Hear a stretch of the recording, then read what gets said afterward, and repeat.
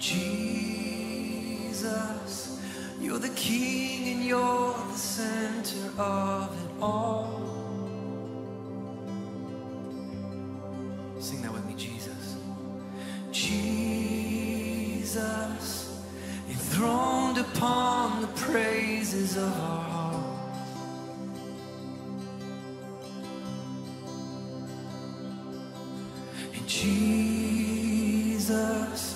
You're the king and you're the center of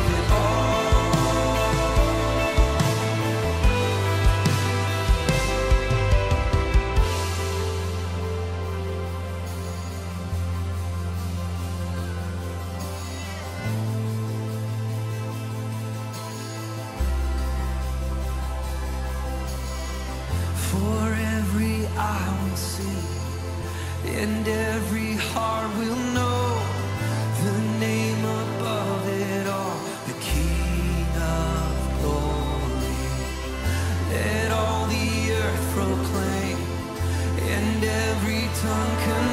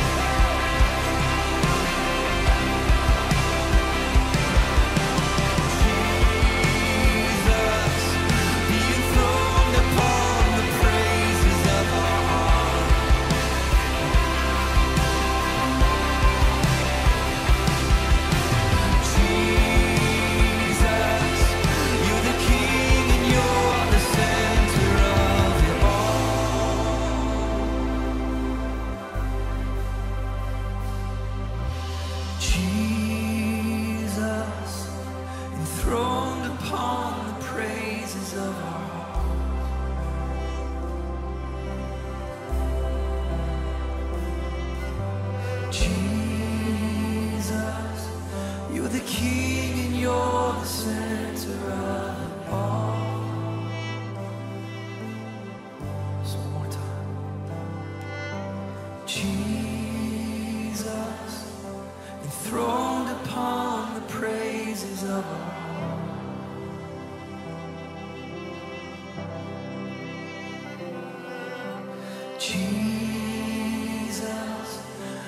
King and you're the center of it all.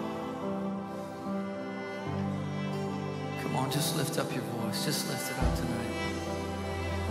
Just enthrone him, enthrone him, enthrone him.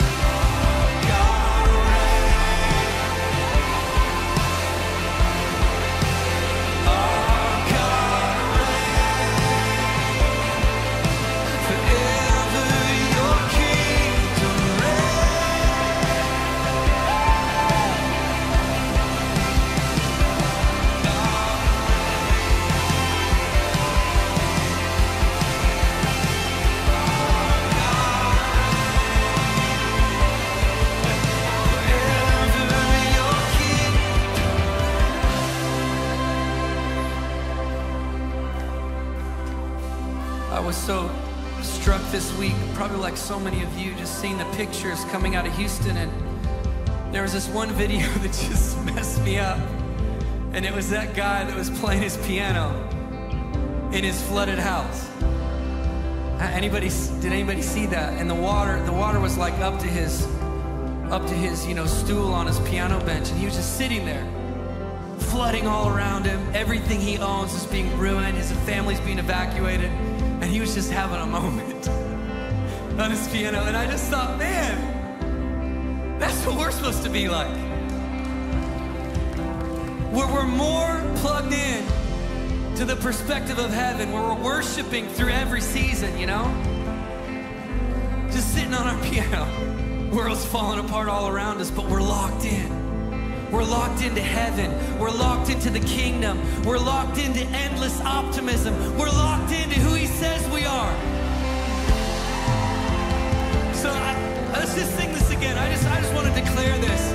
I just want to declare this over, over everybody tonight that's maybe watching or listening that's been affected by the hurricane and, and lost everything and, and, and just feeling hopeless tonight. I just want to declare that He reigns, that He reigns.